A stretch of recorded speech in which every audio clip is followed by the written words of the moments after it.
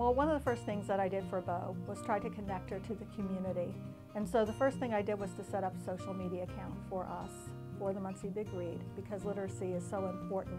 Several years ago, a student of mine who was a senior and I wrote a paper on Fahrenheit 451 that got published in a fairly small academic journal.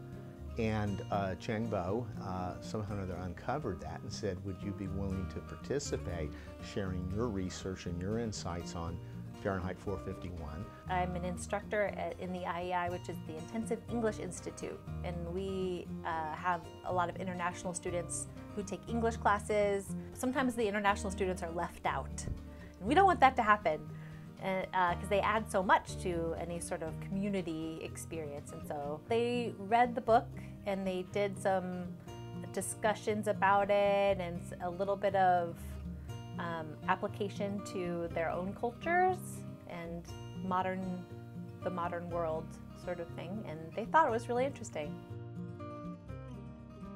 I thought it was great. I, I'm a big reader myself and an English major, and I value language and communication and sharing ideas. So I thought it was very worthwhile and was really happy to be a part of it.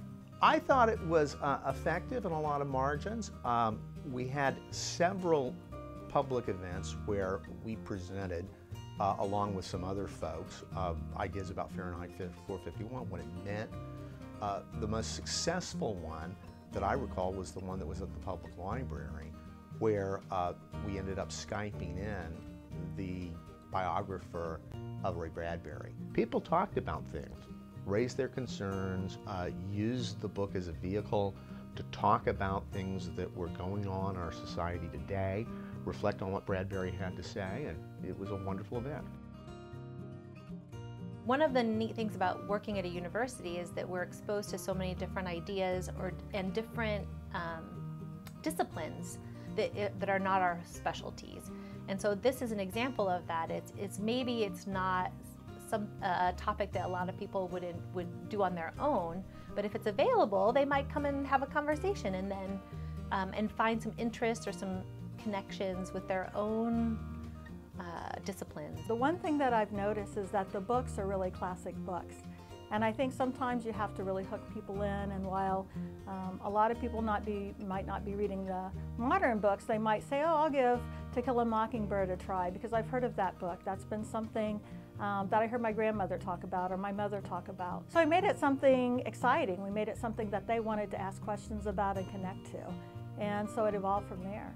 I think the notion that people were talking about ideas from a common text that was, if not directly accessed by them, most people know the storyline of Fahrenheit 451. They know the basic plot outline. Uh, many of the people had recently read the book, so they were rather fluent in it. It may be people that are interested in these things are the ones that show up and do this kind of discussion. We don't really bring new people in. I hope that's not true. Uh, the couple of things we did on campus, some of them were not terribly well attended, but the dialogue was good. If you had three or four students uh, that would show up and talk about things, good for them. I think any opportunity for people to reflect and share in a civilized way, where nobody's trying to bite anybody's head off and no one's trying to get one up on anybody else. It's just, here's a text, let's think about what that means. It is very useful. It's, I think, one of the best forms of education. The one thing I really liked was the fact that there were a lot of different locations throughout the city wherein they had special events, whether it was at Muncie Public Library or whether it was at Mom's or whether it was um, at one of the Unity Centers. Um, I think that is very important because if we can take it to the community and to where people are, those that do not have transportation. One thing I learned when I was working with the state is a lot of times people will come and they will do literacy, but if they don't have transportation, be that a car or a bus or someone to give them a ride, they, they, they can't engage. So we have to give many more opportunities for individuals to engage in the community. I participated in everything, all the, all the different events we had. And one of the events was to go the, to a, some community forums at the Kennedy, at Kennedy Library. And that was really cool because we get sort of locked into our own sphere here at Ball State sometimes.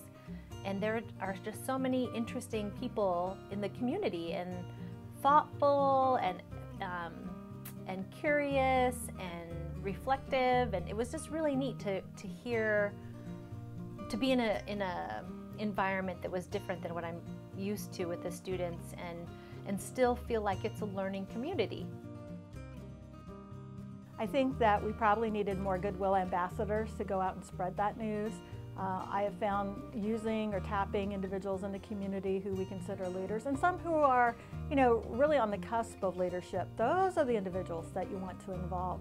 I think people see familiar faces, but sometimes I think um, it's important to involve those who maybe aren't familiar faces. Again, I think the very grassroots, organic piece of this in the community, in the neighborhood. Neighborhoods are key.